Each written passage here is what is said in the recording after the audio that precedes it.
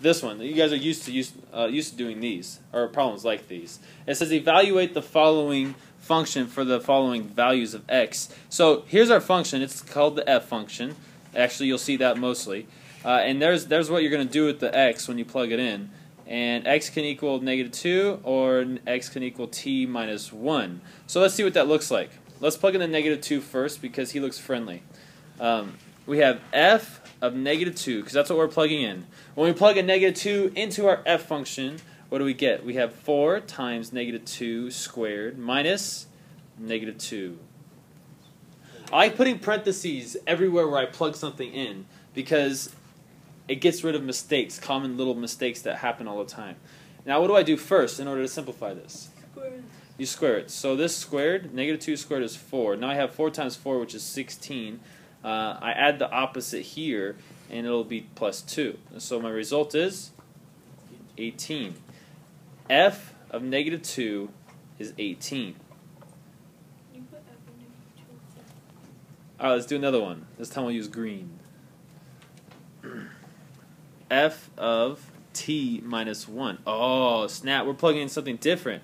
Oh, that's kind of confusing, right, when you first see it? So let's just leave it blank. Let's put parentheses every time you see an x uh, when we're writing our function here. So uh, 4 times parentheses squared minus parentheses. Now, what does x equal now? Well, x equals t minus 1. What? It equals a, another variable? Yeah. t minus 1 is what I'm plugging in. t minus 1, and then t minus 1. Okay, so what do you do first?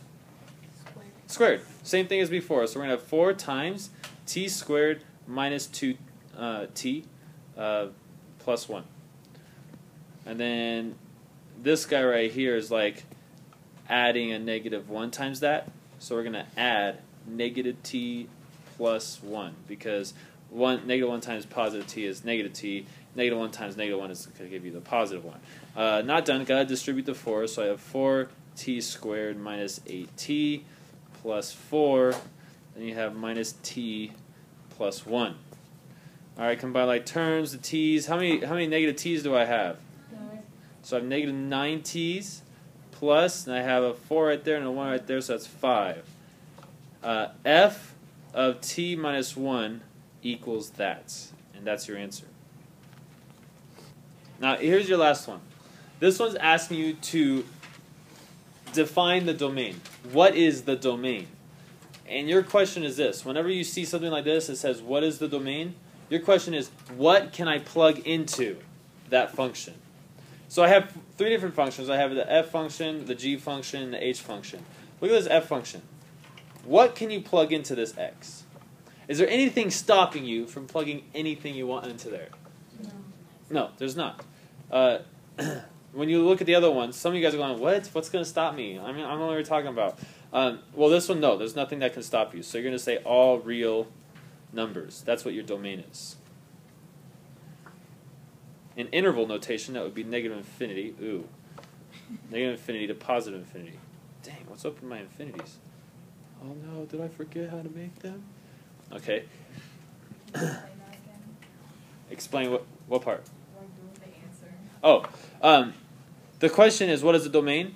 And so the question is, what can I plug into there? And you can plug anything into there. Well, all real numbers. You plug in any real number, it'll work. Okay? All right, so let's look at this next one. Uh, keep in mind, these are already functions. You already know they're functions. What can I plug into that x? In fact, a better question would be, what can I not plug into the x? What? Shut up. Yeah, one. I cannot plug in one. Why? Because then it would be undefined. And so you have to say that you can't plug in one. Um, you can say like this. Uh, in the back of the book, I think they give it in uh, inequality notation.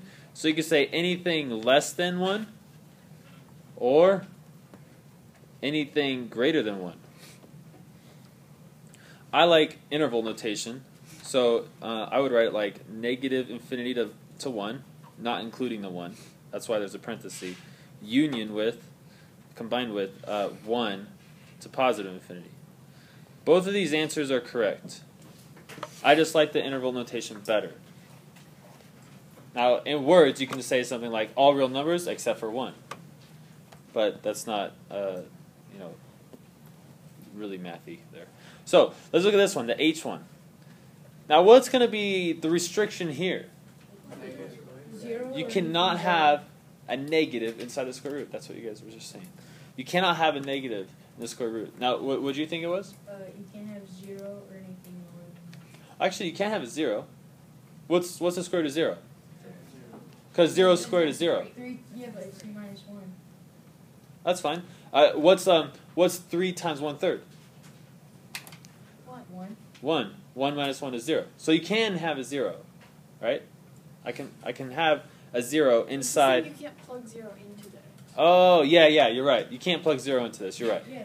Okay. I, I, sorry, I thought you were telling me that you could not have a zero inside of a square root. Um, In okay, never mind. I, I misunderstood you. So we cannot have a negative number inside here. So what x values can you plug in? So uh, now you can sit and figure it out, and like look at a number line or, and stuff like that, or you can do it algebraically, which I kind of like. So x minus one has to be positive, right? It has to be zero or positive.